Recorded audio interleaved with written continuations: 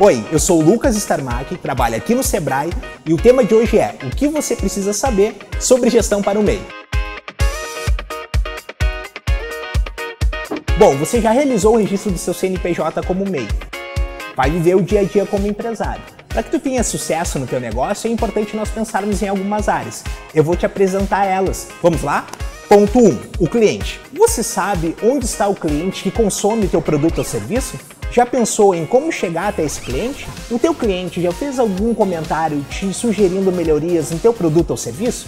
Pensar nessas perguntas é fundamental para a definição de estratégia de marketing do teu negócio que nada mais é que a forma como tu irás divulgar o teu produto ou serviço e a maneira com a qual tu chegará até o teu cliente. Além disso, conhecer o teu cliente permite que tu entendas quais são as melhorias que devem ser feitas no teu produto ou serviço. A dica que eu te dou é entrar no nosso portal e buscar as informações sobre a ferramenta de pesquisa de mercado. Ela vai poder te ajudar a entender melhor quem é o teu cliente e a realidade do teu segmento. Um outro caminho é estruturar um canvas para que tu possas chegar de forma mais rápida e efetiva nessas pessoas. Ponto 2. O caixa. Legal, você já conhece o seu cliente e sabe o que fazer para melhorar o seu produto ou serviço. Também já definiu como chegar de forma mais rápida nessas pessoas. Agora é hora de olhar para o caixa da empresa e pensar: separa as contas da empresa das minhas contas pessoais? Eu tenho controle sobre os meus custos? Eu sei qual é o produto que me dá mais dinheiro? Olhar para esses pontos é importantíssimo, pois vai te ajudar a entender quais são as condições financeiras do teu negócio de uma forma mais clara.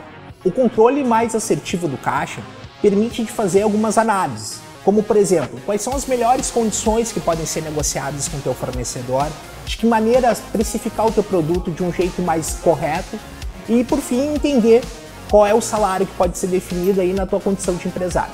Aqui é legal esclarecer que não existe ferramenta certa para o controle financeiro.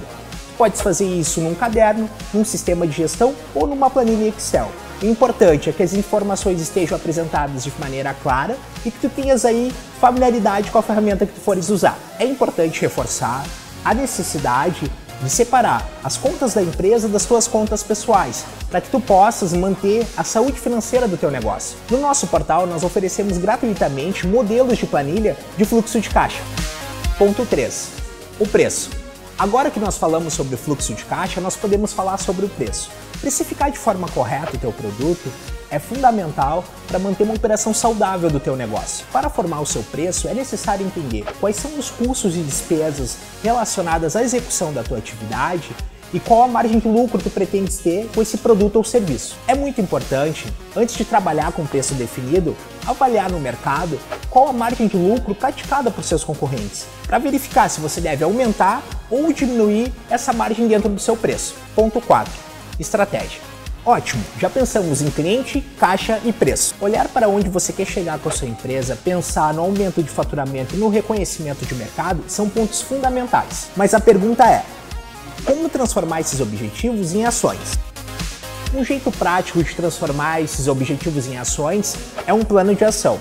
Essa ferramenta ela tem por finalidade te ajudar a pensar no que deve ser feito, quem fará e quando deve ser feito. Existem muitos modelos de planos de ações disponíveis. Você pode escolher o que melhor te atender para usar. Então é isso. Espero que tenha gostado das dicas. Se inscreva no canal, acompanhe os próximos vídeos e até a próxima.